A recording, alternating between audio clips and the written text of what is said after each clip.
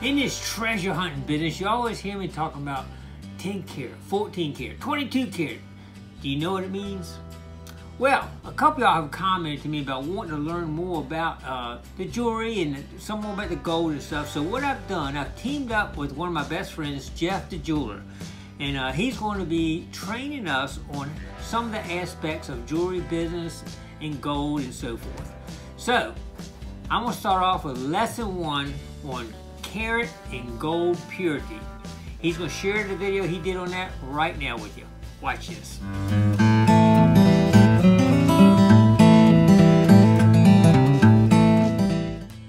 Hello, I'm Jeff the Jeweler, and I'm going to show you how to make money in the jewelry industry. This is lesson one. This is more theory.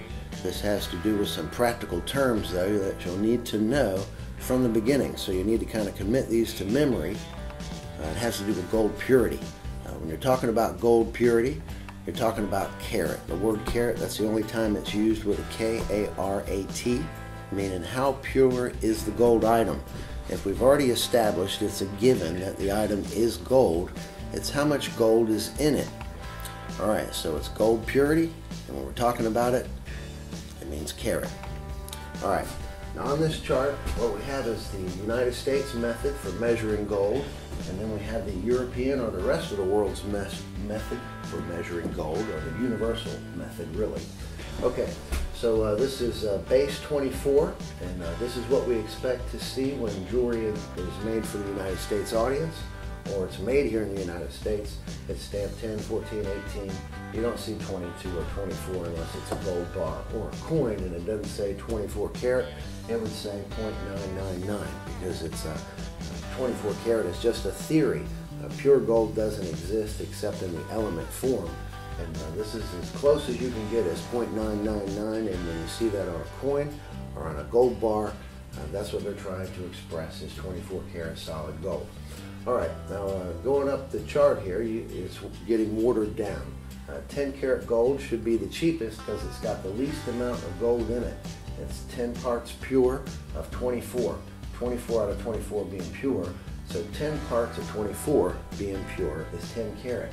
This also can be expressed, or you might even see it if the jewelry is made in Europe. 417 will actually be on the chain tag or in the inside of the shank, meaning it's 10 karat gold. And it means 42%, but uh, if you round it up. But uh, 417 and 10 karat mean the same thing. Right, 14 karat and 0.585 mean the same thing. It means 14 parts pure of 24 or 58, almost 60% pure. So 10 karat, if you just round it down 40%, 14 karat round it up a little bit, 60%. That's why this is more expensive. It's got four more parts of pure gold in it. When you go to 18 karat, it's got four more parts of pure gold in it. It's 18 of 24, or 75% pure. Three quarters of the item is pure gold.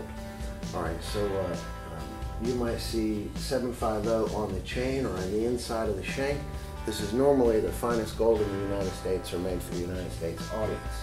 Uh, beyond that, 22 karat, you don't see this stamp in the United States, but you do see the uh, decimal fraction on a piece of jewelry. It'll be orange in color, and it'll be made for Saudi Arabia, made in Saudi Arabia, Dubai, uh, the Philippines.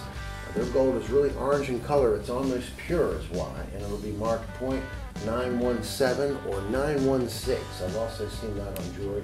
But what it means is 22 karat, or it's almost 92% pure. So uh, 24 karat, we already discussed that. It's uh, in coins and in bullion. You don't see it in jewelry at all. So uh, this is the purest jewelry you'll see in the field when you're buying it. Orange in color, probably marked 916. In the United States, 18 karat is probably the nicest that we make for the United States audience. Or in Europe, it'll be marked 0.750 or 750, meaning 70% pure. It gets cheaper as you go up the scale because there's less gold in it. If you're buying gold to resell it, that's all important. So this is the first thing you should learn. Even take a picture and put it on your cell phone so you can uh, reference this. That if you see these, or you, of course you recognize those, you'll know the percentage of fine gold in it, what's worth paying for, what is it. All right, this is Jeff the Jeweler. This has been lesson one, and it's basically just gold purity and the word karat. All right, thank you. Bye-bye. Well, I hope that clears up when you hear, the word karat, you know exactly what you're talking about on purity of gold.